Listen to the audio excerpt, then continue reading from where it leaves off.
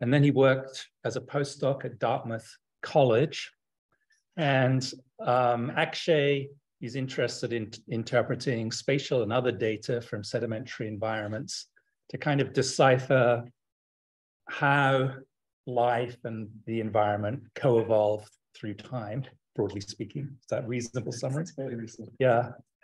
And um, after his postdoc at Dartmouth, he came here, and he's in fact a new, since January, a new assistant professor in the Department of Earth and Space Sciences, and he's interested in joining and contributing to the astrobiology program. So take it away. Awesome. Thank you, David.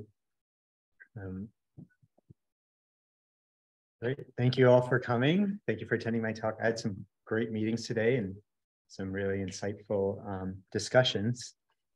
So as David mentioned, I am a sedimentologist and geobiologist, and generally I'm interested in probing the sedimentary rock record to understand how life and environment have evolved on our planet. And I do this probing using a combination of quantitative computational and spatial analyses. So that's generally what my research is.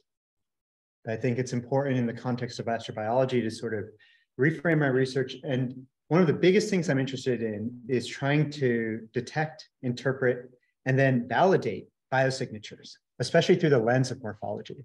So using morphology and those computational and quantitative and spatial techniques I talked about before to try to understand where, whether specific features were built by life or not. And I want to point out that the identification or the misidentification of biosignatures has been a challenge for a very long time. And to make this point, I'm going to tell you about Charles Darwin, Darwin's Dilemma, and then the dawn animal of Canada. So when Darwin first wrote Origin of Species, he had a problem. Essentially, there were no Precambrian fossils in the record. As far as Darwin was concerned, when the Cambrian emerged about 540 million years ago, complex life just appeared on our planet. Now, that's not in line with his theory of evolution. And so what Darwin proposed was that if his theory was in fact correct, the Precambrian seas swarmed with living creatures. And it turned out almost immediately after Darwin published Origin of Species that these Precambrian creatures, these fossils of such Precambrian creatures emerged. And this was known as Eozoon canadense. So I'm just showing you an imprint from an 1865 paper. And Eozoon was thought to be a giant foraminifera. Um, and almost immediately, people started to argue that this actually wasn't a biological fossil at all. That debate raised for 50 years. And what people ended up doing was actually looking at the morphology of Eozoon, trying to understand whether the canals that they thought they saw within this construction match the canals that they might see in a modern foramen. And eventually, it turned out that people argued on the basis of morphology that Eozoon was not a biological construction at all. The nail in the coffin for Eozoon was when uh, researchers found examples of the same kind of limestone rock on the slopes of Mount Vesuvius. And there, people started to realize that actually Eozoon was a mechanical construction that was produced when igneous uh, rocks and intrusions interacted with limestone. So today we know this not to be a biological signature at all. But it's not just Eozoon and the 1800s debates that we have to worry about when we think about morphology and when we think about biosignatures. So some of you in this room might be familiar with this Martian meteorite. And the argument, this is a paper from 1996, and this argument that these sort of carbonate blebs represent something that may have been produced by bacteria. Now, this specific meteorite has been debated over. We more or less agree that these things are not biological or can be formed abiotically. But generally, what I'm interested in looking at is are the uses of morphology to determine whether or not specific biosignatures are in fact biotic. I operate on multiple scales. So while I might be looking at millimeter to micron scale enigmatic ediacaran organisms, I also have looked at the three-dimensional morphology of mountain scale reef geometries. And most recently, I've been really interested in thinking about statistical geochemistry, so on planetary scales, and trying to understand how we might evaluate uncertainties within our records and still produce meaningful time trends. And if you're interested at all in these other, these latter two projects or these lines of research, I'm more than happy to talk about them. But today, given that this is an astrobiological uh, audience, I'm actually going to focus on analyzing ediacaran organisms, and I'm going to show you how I use morphology in two different vignettes to determine the biological affinity of these really ancient animal forms. And to do so, I'm going to start with this photograph. This was taken on Salient Mountain in the Canadian Rockies. I've drawn a yellow line, and in the foreground is a glacier. And as this glacier has been retreating, it's been exposing these 540 million year old rocks, these microbial mounds, which you see in the foreground. Sorry, the background is the glacier retreating. Right? And so if you were to look very carefully at the microbial mounds up front, you would find fossils that people think to be the Earth's first biomineralizing uh, organisms. And generally, when we think about reefs through time, what you have to understand is that these reefs have been built up of microbially mediated constructions for most of Earth's history. So stromatolites and thrombolites, terms that you may be familiar with, have been the predominant builders of reefs in our planet's past. At some point in our planet's past, animals started building calcified shells, and they started fusing those shells together to produce rigid frameworks. And these rigid frameworks are way different from the microbial reefs that preceded them. They have high topographic relief. Since they're pretty rigid, they can grow in places where microbes simply can't. They also have what's known as structural complexity.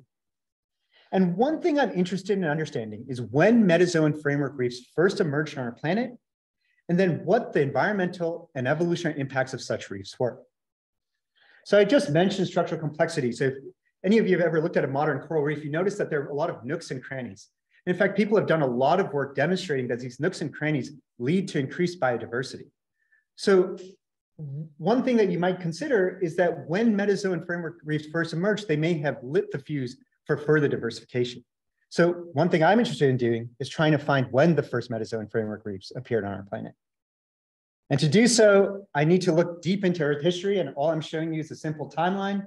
I've divided it into four eons, the Hadean, Archean, Proterozoic, and Phanerozoic.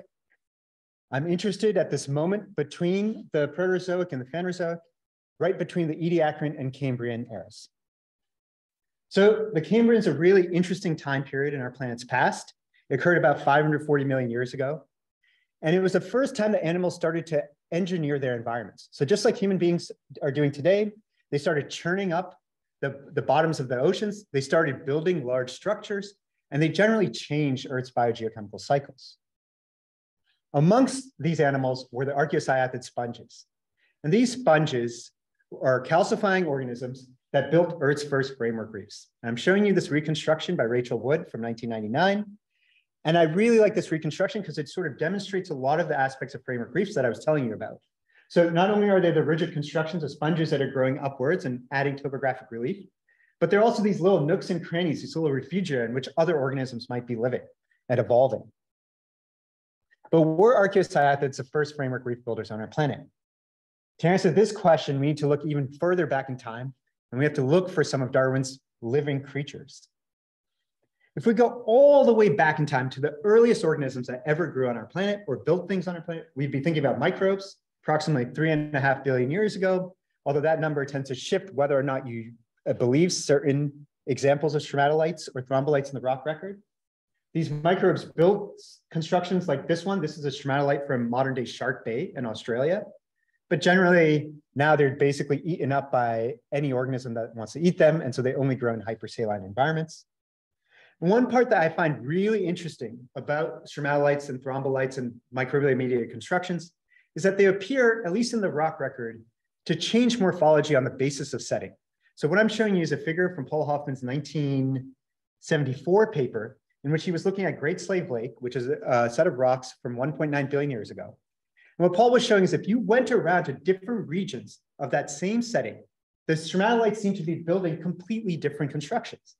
And he argued that this is probably due to water depth. That's probably the major control on these. I'm going to return to what we think about microbial morphology at the very end of the talk. But I just want to say that even if these organisms that are producing these are called simple, they're not just building simple forms. Some of the forms that they produce are rather complex. Okay, microbes built microbial reefs. They did not build framework reefs. So now we move forward to think about other organisms that may have been able to build frameworks. About 2 billion years ago, people have argued that there were motile organisms. Here's a paper many people don't believe but argues that there were trace fossils in these rocks and that at least something was moving around. Once again, these things aren't building anything rigid. They're not building any frameworks. We might even move further ahead in time and we can start looking for the last common ancestor of eukaryotes. Problem is, while these are relatively abundant, once you start looking for them, they're incredibly small. All of these things are in the order of tens to hundreds of microns, and they're never really building anything rigid. So what we're left with is a time period right before the Cambrian, and we're left with a weird set of organisms known as the Ediacara biota. For the most part, the Ediacara biota are preserved as fine impressions in siliciclastics, so primarily sandstones. I'm just showing you a few examples of these impressions in these sandstones. And the Ediacaran biota are weird. And for the longest time, people weren't even sure if they were metazoan. So Seilacher in the 90s argued that actually these were weird pneumatic structures. They represented some form of nature's failed experiment in a, in a, in a body form that just didn't work. And that eventually na nature abandoned this, this line of, of construction and moved to the organisms that we know today. Recent work has demonstrated through biomarker data that at least some of these Ediacaran biota are actually metazoans, so that they are animals. I'm not interested in all the pneumatic constructions, however, because we know those things couldn't build a rigid framework. What I am interested in are three genera of biomineralizing or putatively biomineralizing Ediacaran organisms. So we have Namacalathus, Cloudina, and Namapoikia. And in a minute, I'm going to actually walk through some reconstructions of these. But I'm going to start with the set of questions that I want to answer. First, I want to know what sort of organisms these Ediacaran putative biomineralizers were. What were their biological affinities? What were they actually doing in environments in which they're found? Secondly, I want to know whether or not they were actually building the rigid frameworks that I'm after, right? That's the major question I'm trying to answer. And in order to answer both of these questions, I'm going to argue that morphological analyses are required, and specifically morphological analyses that are done on three-dimensional reconstructions. And in order to make this last point, I'm going to tell you a little story about William Sollas, who was a geologist at the turn of the century at Oxford. And in 1912, or sorry, 1902, Sollas made a presentation to the Royal Society where he essentially lamented that paleontologists might be excused, ex, uh, excused if they regard uh, the student of recent organisms with, with envy, because the student who looks at recent organisms can investigate things via serial sections. And what Sollas was talking about here is if you're studying something that has soft tissue, you can sharpen a knife really finely and you can make very thin sections through that tissue, right? Here's a mouse brain just in successive serial sections. What's really cool is once you've done this, you can actually look at the relative position of different features within this uh, within these sections and then reconstruct the three dimensionality.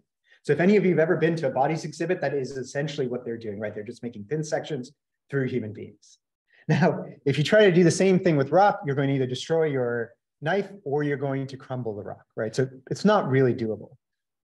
And Sollas was pretty peeved. And he argued that actually people who are studying rocks and fossils within rocks are probably only getting a tenth of the information that they possibly could if they had access to three-dimensional information. And I know that sounds like hyperbole, but I want to argue that that's actually true. And in order to do so, I'm actually going to show you a reconstruction uh, and a photograph of an archaeocyathid in outcrop taken by Ryan Manzuk. So Ryan and I uh, were out in Nevada looking at some of these early archaeocyathid reefs. And we came across this one sample where you have archaeocyathids in the rock itself. The quarry gives you a sense of scale. And what I've done here is I've just drawn lines around individual uh, tubes of the archaeocyathid. Okay, if you are really talented, you might even notice that there is a branching organism here. So at least at the very least, we know that archaeocyathid seems to be a set of solitary circular elements, maybe some that were branching. Well, when you produce a three-dimensional reconstruction of those same archaeocyathids, you get a completely different story. These organisms were densely branching. They were building the sort of frameworks I was just telling you about. But you'd never get that information just by looking at a single outcrop, or uh, outcrop section, right? Because you just have a random cross section through whatever these archaeos were doing. So anyways, I'll show you at the very end of the talk some of the work that Ryan's been doing with these 3D reconstructions. But just for now, I want to demonstrate that sometimes three-dimensionality is really important. And one thing I do in my research is build synthetics. And in these synthetics, I try to understand what properties we might be able to extract from two-dimensional cross sections about three-dimensional properties. And here, I'm just going to show you four uh, random synthetics. So if I'm interested in looking at tubular organisms, I might build these tubular organisms and randomly section them. If I'm interested in granular material, I might build a granular material in 3D and then randomly section it and try to understand how porosity or permeability might vary uh, based on what kind of section you get. I've also looked at crystalline solids, so things like granites, right? And then finally, I've looked at individual minerals. So I've looked at individual crystals. So when we're trying to say that a crystal is after some pseudomorph or is a pseudomorph after some mineral, how will we know whether or not we're right? Generally, the, the reality is, is that 3D properties cannot accurately be estimated from 2D cross sections. This is something that people have known for a very long time. But the reason I build these synthetics is because sometimes those errors are small enough that we don't actually care, right? So when we think about something like we might get a photograph of a putative microbial construction on Mars from a rover image, we don't actually have a choice to build a 3D model of it, but we might try to build a synthetic to understand how wrong our estimates might be of specific properties, right? So that's part of the value in building these synthetics. We really have to understand just how much error we can deal with. Anyways, when Sollas was done lamenting, Sollas built this machine. It's a serial grinding and imaging machine. Well, it's just a serial grinding machine. And what you do is you take a sample and you mount it to P over here. You lay down some diamond grit on D, and then you get a grad student to turn O until you've ground away some amount of material. Then they take a look at that freshly ground surface. They might take a photograph or a tracing. You make them stick it back on and then grind away a little bit more material at a time right? So Sollas was grinding away about a millimeter at a time. And he and his daughter, Igerna, Igerna was the first woman to study geology at Oxford, actually. They built these beautiful cross sections through these fossils. And so they did a whole bunch of reconstructions. And for me, one thing that I especially find interesting is that they built these analog models. So after they had done all of their cross sections, they then took beeswax and they carved out each section with the thickness corresponding to the amount of material that they left behind or that they ground away. And then they were able to produce these 3D models. And so this is a really nice analog version of what I'm going to show you today. Okay, so that is a very time consuming and destructive task. In the 1960s, it turned out that maybe we don't have to do that. Maybe we don't have to destroy rocks just to understand what's inside of them. And so if some of you in this room might be familiar with X-ray computed tomography, and the way that the X-ray computed tomography essentially works is you take a sample and you pass an X-ray beam through it, and because the features in the sample tend to attenuate x-rays differently, you get a projection. And that projection, if you rotate that sample uh, in slow increments, you can build a set of projections, and then you can use inverse methods to build a 3D model, right? So that's essentially how X-ray CT works.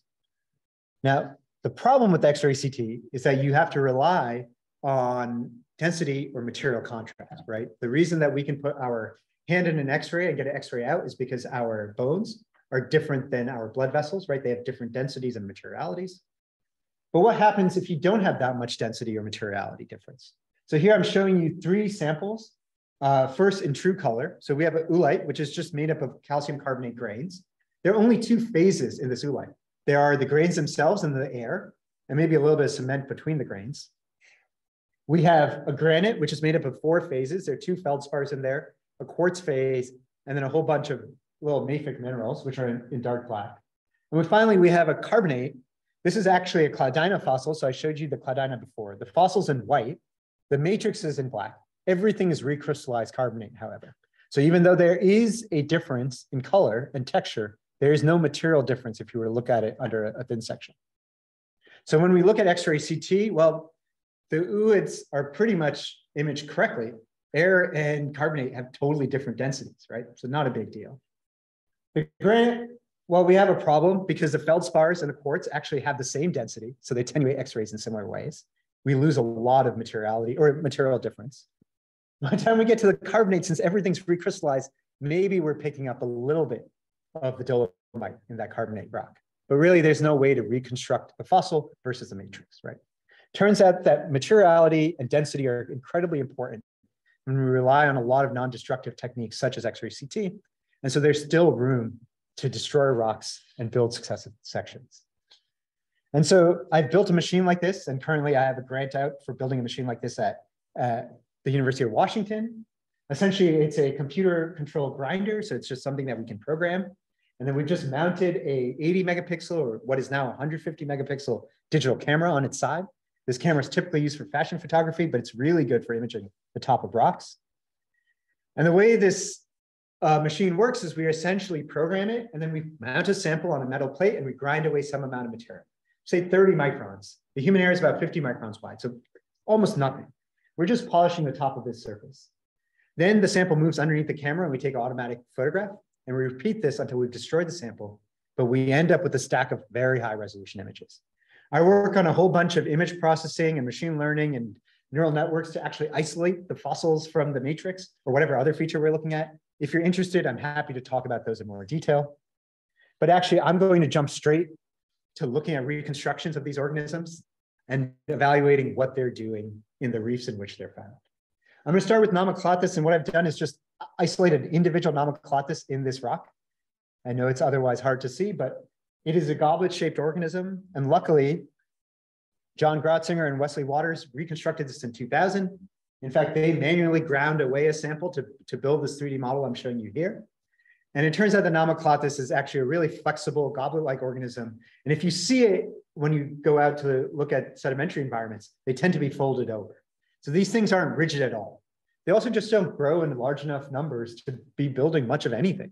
They seem to be solitary organisms hanging around, weakly biomineralized at best. Next, we have Cloudina. So Cloudina are these tubular organisms. And what's really exciting about Cloudina is that about seven years ago, researchers went out and actually measured some outcrops and demonstrated that these Cloudina had preferential orientation. So it appeared that the Cloudina in aggregate were oriented such that they were feeding in currents. Additionally, researchers demonstrated that these Cloudina seem to cement together.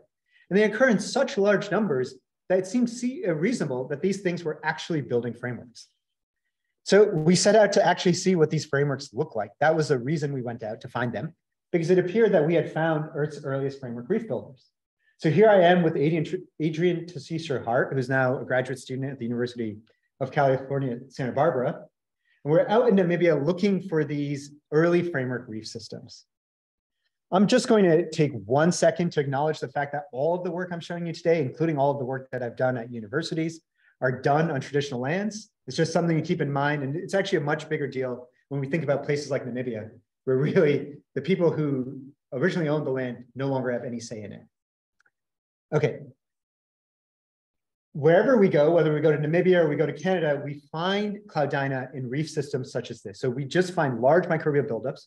This is this large pinkish microbial buildup. When we walk up to these buildups, if we look carefully, we start to see fossils. So all the fossils are in white here.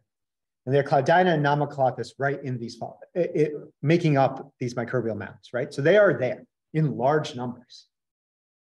If you were to look at an individual Cloudina and reconstruct it, you would see this. It's a cup and cup structure. They are tubular. Sometimes they have ornamentation. Generally, it's thought that they were building hard shells and potentially they were building frameworks. Well, we can produce 3D reconstructions to test that. And so here's a reconstruction of a Cloudina aggregate. So this is something that is only made up of Cloudina and then some matrix material. And what should maybe strike you almost immediately is it doesn't seem that there is a single orientation and we can quantitatively demonstrate that no matter where we find Cloudina in the world, no matter what aggregation we look at, they tend to be just jumbled up it's really just a mess. This is a detritus flow. These Cloudina aren't sitting there growing in situ. Instead, they're actually being washed into place. One really cool thing we can do is start to look at the cross sections of individual tubes and try to understand whether they are circular or elliptical. Turns out that most of these cross sections are elliptical, and that means that these tubes were deformed. We can then ask whether the orientation of the, of the long axis of the ellipse, whether all of those orientations are aligned. And in fact, they're jumbled up as well. So this isn't a compression that's due to burial after this rock was made, but in fact, these Cloudina were being washed around and likely deformed en route to being deposited in some detrital pile, right? So these are the sort of information that we can extract from these data.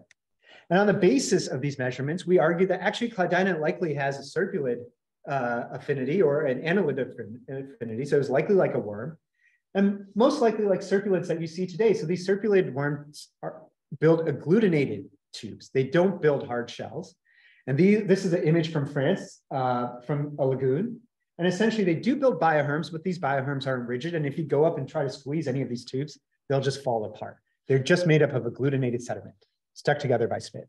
So, you know, we made the statement that these things likely have an annelid affinity. And a few years later, using X-ray CT on a pyritized sample, people found worm guts in one of these Cloudina, and we're able to confirm our, our estimate or our uh, affinity um, association. And I think what's really powerful about, about this fact is that all we had left to work with were the tubes themselves. We had none of the original material, and we still were able, through comparative morphology, to make a biological affinity uh, um, assignment. So I think that really demonstrates the power of using morphology in the rock record to understand biogenic forms. Okay, great. So that was Cloudina. Next, I'm going to show you something that is a putative sponge, Namapoikia. Namapoikia grows in the same reefs as Cloudina does. It looks like this. It's essentially just a labyrinthian construction. And Namapoikia is interesting for two reasons. One, because it may have been a framework reef builder. And if we know that the archaeocyathids were sponges, it might be interesting to find a Precambrian sponge that was building reefs. But two, the reality is, is that the Precambrian sponge record is poorly, poorly understood and heavily debated. So here, all I've done is turn the timeline on its side here. We've got the Hadean, the Archean, Proterozoic, and Phanerozoic. We know that microbes started 3.5 billion years ago. We know from uh, from molecular clock data that metazoans probably were around 700 million years ago, but we don't know much about what they were doing. There are no fossils of them. And since the sponges are basal metazoans, people argue that they, they must have been around very early, and people have been searching for sponges for a very long time. Here are multiple records of putative sponge remains from the rock record. I've just put them within where they're found with, within the time scale. And the point I want to make is that every single one of these records, whether they're spicules, whether they're body fossils, are completely and totally debated. No one agrees that any one of these things is definitively a sponge. Among these are Namapoikia. So this was described by Rachel Wood in 2002. Here's another photo for it uh, over here. Here's a dollar coin to show you the scale. But they do seem pretty regular. A Namapoikia does seem like it might be a sponge. It would be amazing to find out the Namapoikia sponge because one, it, it would give us the first definitive Precambrian sponge fossil in the rock record, but two, it would tell us a lot about how maybe metazoan framework reef building emerged within the lineages of sponges, right? So that's what we're after here. At least superficially, Namapoikia looks a lot like other sponges in the rock record. So I'm showing you A. perforata. A. perforata is a sponge from the Ordovician. It's what's known as an inozoan sponge. And on the left is A. perforata. The canals are in black. The structure that the sponge builds is in white. On the right is Namapoikia. These are transverse cross sections. So if you just took an organism growing up and you sliced it through, this is what you would see. One thing to point out is that both of these scale bars are one half centimeter. So Namapoikia is far, far, far larger than A. perforata. What's interesting is even when we look at a longitudinal cross section through Namapoikia and A. perforata, we see things that look at least superficially similar. It is not a stretch to imagine that this organism was in fact a sponge. So we want to evaluate it. And luckily, we have some proposed reconstructions to use as a basis for our evaluation. So I'm just going to walk through this reconstruction. Namapoikia grew on some sort of microbialite substrate, which is in dark gray at the very bottom. It produced these partitions that grew upwards or outwards from the substrate. These partitions, as Namapoikia went upwards, over thickened towards the bottom and may have filled with cement. These partitions were cross-cut by tabulae. And then finally, the sponge itself actually grew towards the top of the organism, right? So the sponge is always at the top, it's always growing upwards, it's always evacuating lower chambers. This reconstruction is likely based on other calcifying sponges that you see, including in the modern. This is Vaceletia crypta. It's an analog for Namapoikia. I want you to look at that scale bar. That is 500 microns. This thing is absolutely tiny. But Vaceletia crypta contains many of the features I just told you about. It's got partitions and tabulae. And indeed, if we look at the bottom, it seems like those partitions are being over thickened or filled with cement, right? So every single thing we've talked about. In a cross section, Vaceletia crypta looks a lot like what we might expect Namapoikia to be doing. There are the living tissues in LT. And you also have these partitions that are growing upwards, as well as these tabulae, right? So that's what we're looking for.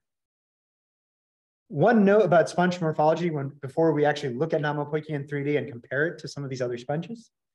Sponges essentially work by arraying cells known as choanocytes. And these choanocytes beat. As they beat, they move fluid across their collar cells, and that's how they do their nutrient and gas exchange. Sponges work by arraying these choanocytes together. And when sponges get bigger, they don't just make the canal chamber larger, they increase the sophistication of their canal system while maintaining a chamber size that doesn't grow too big. And it makes sense. These things are on the order of microns. They can only move so much water through. You can only erase so much of them. If you make your chamber too large, you're going to end up with a stagnant amount of water in the center, right? It's just never going to go anywhere. So sponges don't grow larger by just increasing chamber size. So that is something that we can test for. We get enormously large chambers, probably not looking at a sponge. All right. I want to ask one additional question into, in addition to whether Namapoikia is building a framework and whether or not it was a sponge. I want to know whether we can say anything about the way that Namapoikia grew based on 3D reconstructions.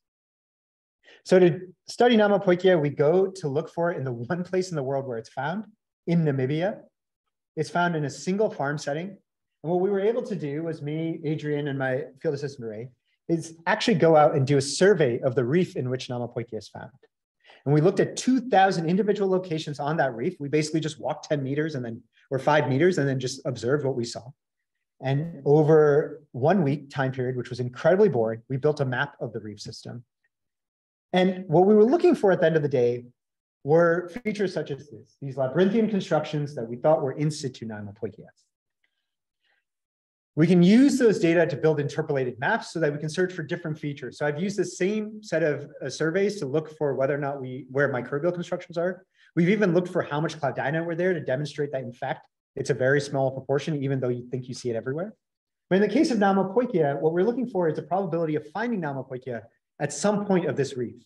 So the reef is dipping to the southeast uh, about 45 degrees. So you're looking at an oblique cut. And in fact, there are only very few places in which you find Namapoikia. Uh, red means there's a 100% chance of finding it. Blue means there's a 0% chance of finding it. And indeed, the way that people describe Namapoikia is growing in Neptunian dikes. So in regions where the reef basically grew up, broke away due to gravity, and the Namapoikia is found within those spaces between those broken parts.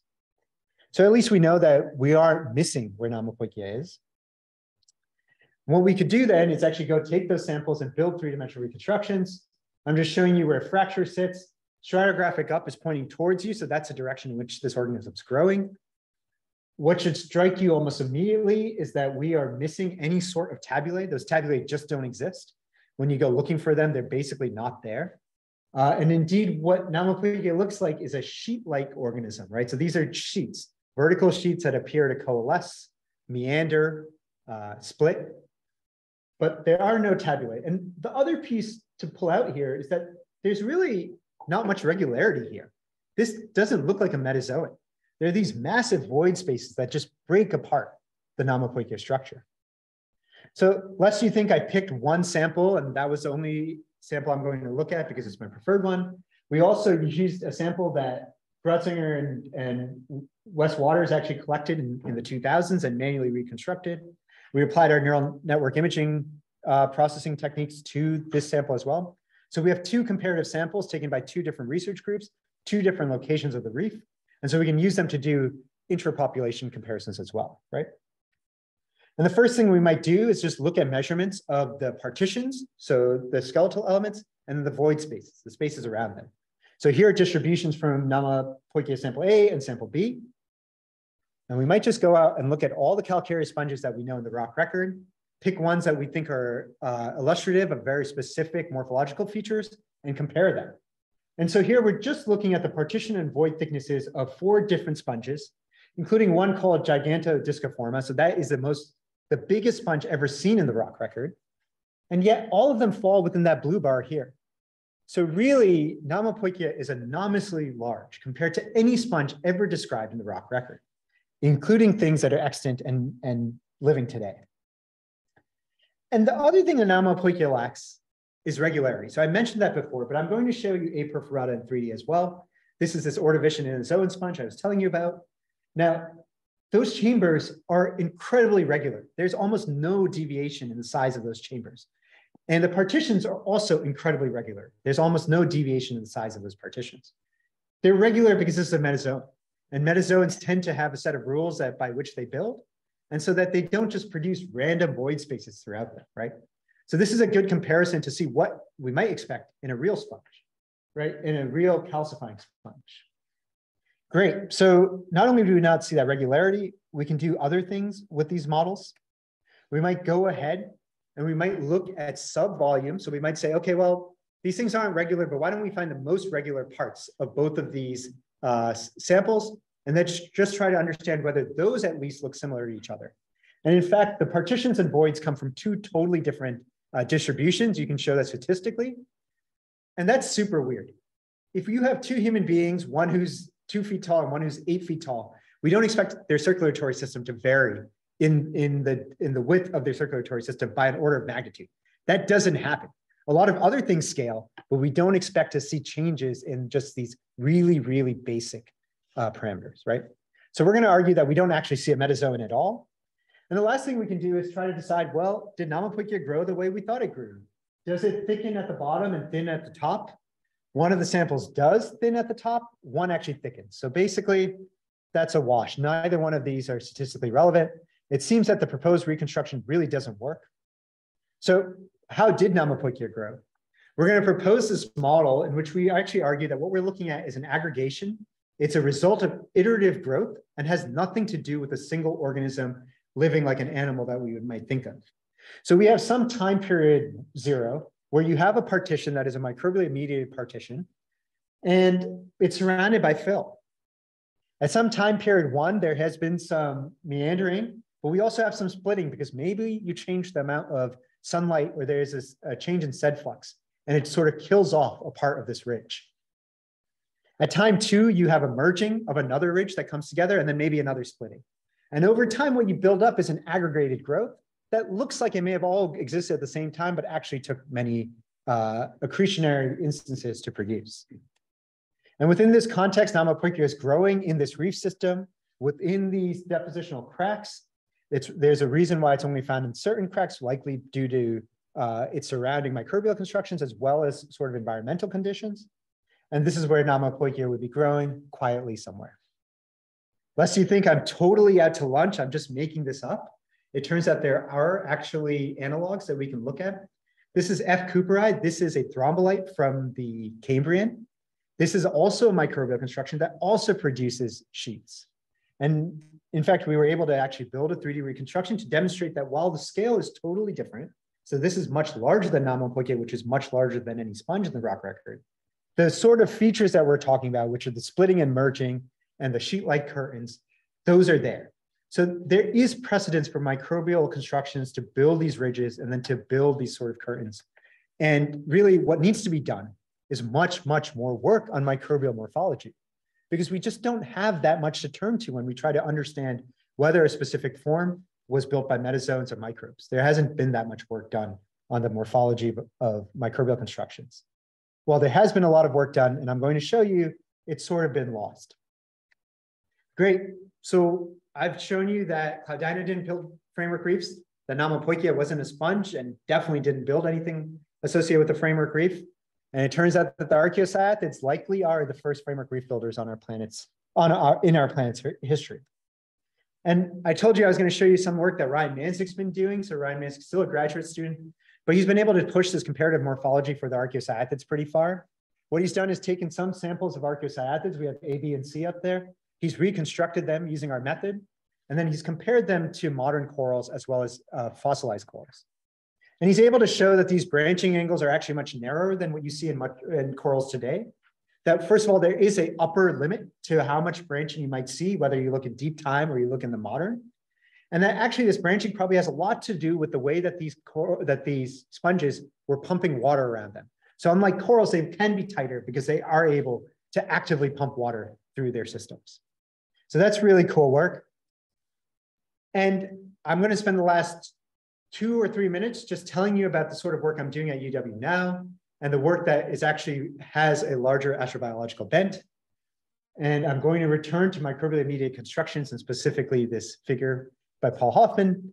It was this figure plus a work on Namapoikia that's really led me to be interested in what microbial morphologies or microbially mediated constructions, what their morphology tells us about the environment and the biology that produced them. And so in part, I focus on trying to understand microbially mediated constructions and their morphology. And really this work can sit in, in two avenues of, of research at the at AstroBio. One is just origin and evolution of life on Earth, but also there is this bigger question of habitability and life in the solar system. And I'm going to say that because there are two points to keep in mind. First, these microbially mediated constructions, such as the stromatolites I've been talking about, serve as Earth's oldest fossils. These are the primordial constructions of our planet. They are the things that were first built on our planet, right? And because they're primordial constructions, it is likely that when we go to other planets and we sense and look for them, we might find them, right? So these might, one day we might be hearing about some sort of microbial construction that was seen in a photograph in a rover that on Mars. And in fact, you hear about this all the time. We just don't know whether they're truly microbial constructions or not, right? And that's why we have to consider two aspects, and these are the two aspects I'm really probing. First is the relationships between morphology and biological and physical forcings of microbial media constructions are completely quantitatively under constraint. So generally, if you talk to a sedimentologist, they'll tell you that, the, that microbial media constructions seem to change based on environmental setting. But there is no phase-based diagram that might look at something like light levels or water depth versus different morphological expressions of stromatolites. And that is an area of research that really can be worked on. Secondly, you can produce similar forms purely abiotically. So what I'm showing you on the right here isn't a set of stromatolites and a cross-section through stromatolites. This is actually an experiment done in an electrochemical bath. Essentially, all you do is you vary the amount of current. And as you deposit copper, it can produce these wildly branching forms that look like stromatolites in the rock record, purely, purely abiotically. And so how are we ever going to tell the difference between abiotic constructions and biotic constructions when we find them, whether on Earth or other planets? And so these are the major questions I'm after. And as a first step of this process, I've been working with Anders Larsen Tevis, who's an undergraduate in my lab. And what we've been trying to understand is what have the descriptions of stromatolite morphogenesis been in the literature, right? So what Anders has been working on is just probing the literature, data mining the literature to understand how many times stromatolite morphogenesis or stromatolite morphology is mentioned. And Anders has looked at four different sources. He's looked at uh, a paper by Hans Hofmann, a review paper from 1973. He's also looked at a book on stromatolites by M.R. Walter, edited by M.R. Walter from 76. And then he's looked at two modern sources, the Web of Science, right? So you can just go do some data mining, as well as XDD, which is Geo Deep Dive. This is a, a initiative out of the University of Wisconsin by Shanan Peters. And all Anders is showing you this plot is the number of publications relative to time. So a few things uh, pull out immediately. First of all, our modern databases are missing a lot of the stuff that existed back in the 70s. Secondly, one thing that Anders has found out is that if you go to Walter 1976 and you look at the percent of uh, publications that were in a foreign language, specifically Russian, it turns out that 20% of those publications were written in Russian. And the Soviet Union had this whole drive to understanding microbial mediated constructions of their morphology. That literature is more or less lost. If you look at modern day, you almost find zero references to that older literature. And so part of what we're interested in doing is, our, is using machine learning to actually extract some of that information from these older papers so that we might build measurements of stromatolites as described throughout the world and try to understand some of these ideas that may have been lost, right? So that is the initial building block of the work that I'll be doing here at the UW. All right, I just want to point out that none of the work I do is by myself, right? So I have a lot of collaborators, uh, and specifically for this project, I have three collaborators, uh, both of these ediacaran organisms. Uh, and with that, I will take questions. Thank you.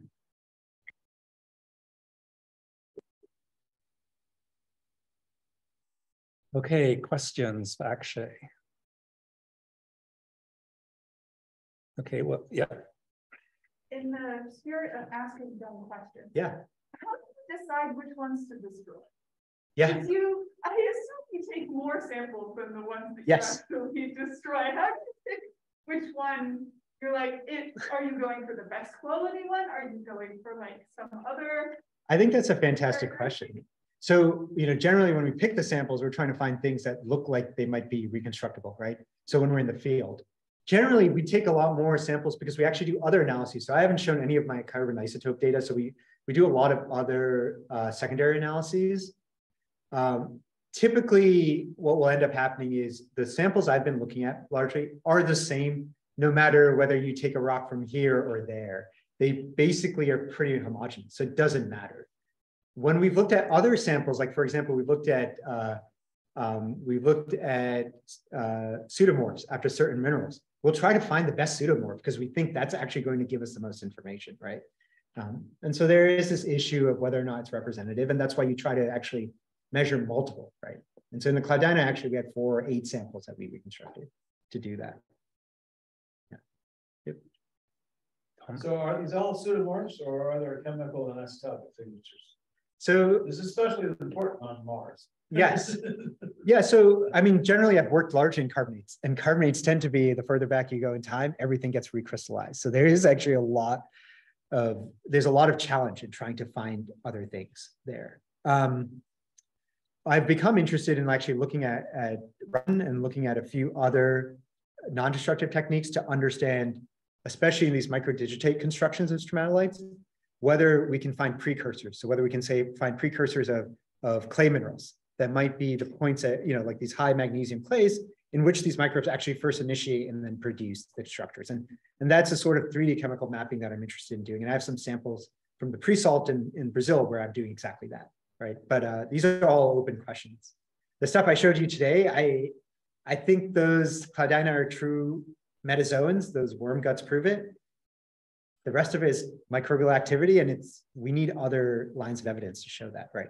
I've only merely suggested that they're not metazoans. That's as much as I can do at this stage. More questions? So I have a question. So Yeah. um, so what happened to Cloudina? Why don't we have calcifying worms these Yeah. days? Well, that's a good question. I mean, we do have worms that do build, like, you know, that are building exoskeletons. Okay, So that's not totally gone. Right. But um, I don't know, but you know, Cloudina went extinct, or at least that was the uh, the general idea. Now people argue that Cloudina actually made it across the boundary. There are examples of Cambrian, you mean? yeah, into the Cambrian. So people argue that you can find stratigraphic sections where the Cloudina are actually making it up. They sort of disappear. There's also the whole quote unquote arms race to consider once we get into the Cambrian.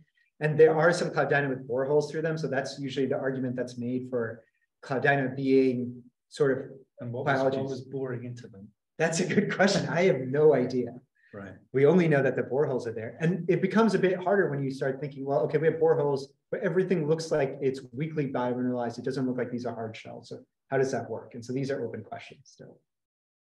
Have you thought about, um, you know, since you have this digital information, have you thought about 3D printing? So, Yeah. for example, if you're going to do this, I would like an opabinia. An opabinia is like a predator in the Cambrian that has five eyes and a trunk-like grabber. It's a weird animal, and it would be a great thing to 3D print, but you Yeah, need to that would be- slice it first. Well, I think people have done at least reconstructions of it. but- Yeah, they have, but but if you actually did the slicing, you could do it precisely, presumably. Right, and that's one that they'll never let him slice because. Oh, yeah, two print. But um, but along those lines, people have started using these 3D reconstructions in uh, fluid dynamics models. Because the other question is, how do these organisms, if they are oriented, were they actually creating these eddies in which they then could feed, right? So people, that's really the, the next logical step for these models once we reconstruct them. Zach? Um, this is probably just a quick, first of all, that was a great talk and it was beautiful, the, the reconstructions. Um, possibly a crazy question, is it possible to sort of validate, um, your interpretation of some of these fossils by like using, I know some of these organisms are extinct, but using some kind of like similar organism? And, but like doing something in the lab where you. Yes. through- Okay, could you talk, could you tell us about that? Yeah, sure. I can tell you that growing microbes is really hard as far as I'm concerned, but people have been working on these questions. I actually think, especially from a microbial construction standpoint, that is actually a very valid way to, to go about it. Whether or not we're going to get much more out of, say, these Cloudina, whether there are similar analogs that we might extract, the work that I would point to are sort of, and the work that I read a lot of was Sue Kidwell's work on, um, on looking at large detritus piles, right? So trying to understand what happens to taphonomy, like what happens to these organisms after they fall into place and decay. And that's really looking at more modern organisms, but that's probably the, the closest that we'll get. For a lot of the Ediacaran, what people have started thinking about from the impression standpoint is actually like taking modern worms and letting them decay to see whether they can produce the same death mask that you might get out of those fine grain impressions, because we still don't even know how those impressions were formed, right? They're so delicate and they're so finely detailed. What was it? Was it seawater chemistry? Was it something about the organism? So those are even open-ended questions. So I think there's a lot you can do in that space. I had a question on your graph of the data mining Yeah. for Web of Science and stuff. I don't know whether you can go back. Oh to yeah, I that. can totally go back. So, so there's a weird periodicity. Yes, yes, And yeah. both in the blue one and the purple one. So like people go for ten years and then they get really bored. I think that's a big, I think that's a big artifact, right? So This is just work that Anders is just putting together now. Okay. But I think that's purely a binning artifact, and it might be the way that actually Web of Science and uh, Geo Deep Dive make these decisions about where to put certain papers. I see. And it might just be a decadal issue here. Right. I, I don't think that's real. Uh, Right. at all. So that's there's not a like a Yeah. lack of Yeah, enthusiasm no, no. with a It's not a cycle that goes Yeah. on. Okay, any more? Yep. Um, it sounded like you mentioned that you were interested in using machine learning to try to mine the older Russian papers. Yeah. I was curious if you talk more about the methodology. Yeah, so there are two ways we can do this, right? So um, when Shanan Peters wrote Geo Deep Dive, uh, the whole idea of this project was that he was going to convince Elsevier and other publishers to give him all the data and then to build something where you could probe it. Um, and you could probe the literature as well. So that data set exists out there. The problem was where they got stuck was with natural language processing, and that just did not work well, right? Natural language processing is notoriously difficult to work with. And the advent of these large language models that have emerged are actually, that's probably the direction we want to go in.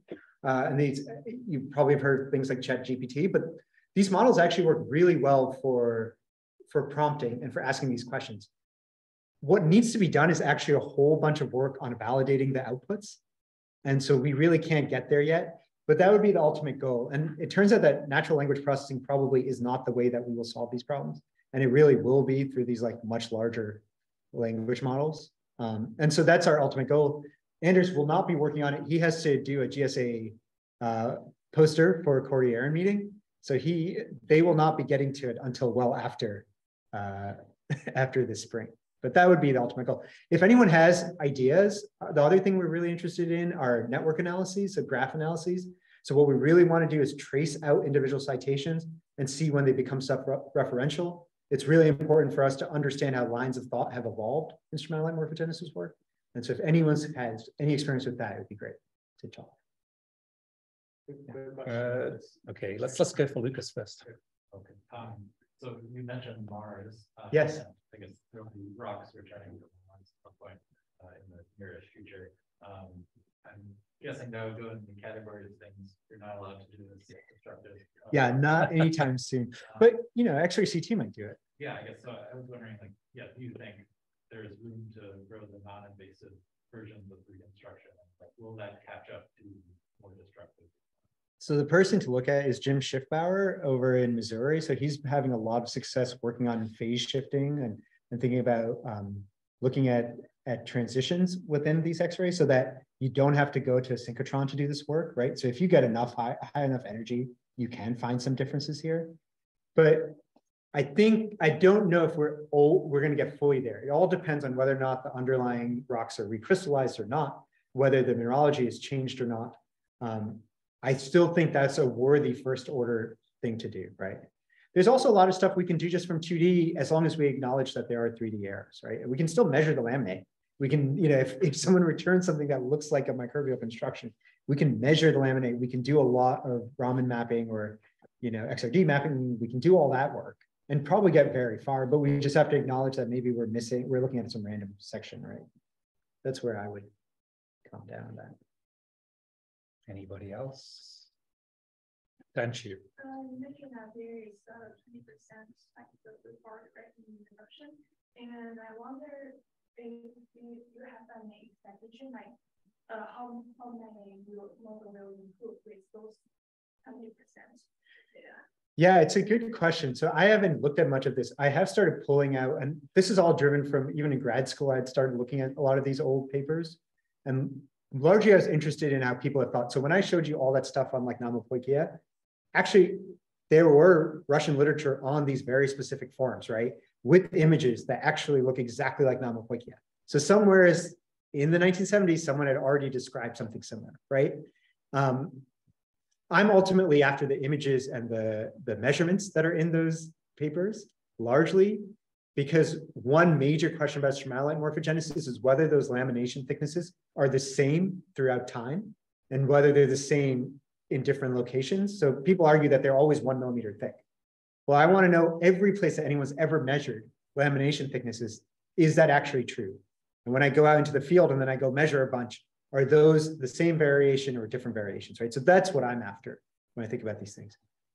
Ideally, we'd have someone who actually speaks Russian to, or, you know, it's not just Russian, it's Indian, you know, it's Chinese. There are so many of these languages that that literature is happening in a space where I don't have access to it. And that's what we're after. I, Yep. is not my fault, so I'm just using that, but I'm wondering if you've done any analysis for like the like peptide structure of like those cells or like do any sequencing. Um,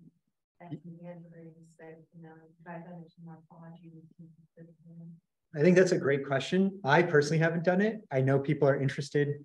I think the biggest thing here is maybe there are signatures of life that we might be able to extract from some of these rocks on a micro scale. That's where it'd be really interesting.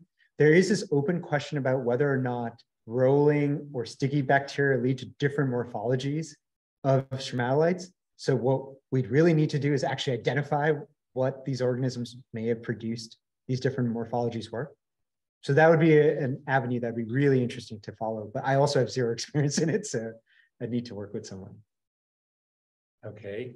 Ah, Baptiste. Just the last one. Uh, That was, that was real good.